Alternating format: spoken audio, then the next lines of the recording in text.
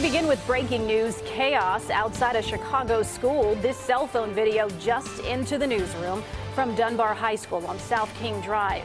Police say up to 100 adults and students were fighting.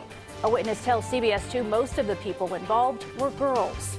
Chopper 2 over the scene just a short time ago. You can see the large police response to the fight, officers blocking King Drive. And we're told two people were hurt, including this police officer being loaded onto an ambulance. He's being treated for a leg injury. And a girl also hurt. She may have been kicked or punched. She was taken to the hospital with minor injuries.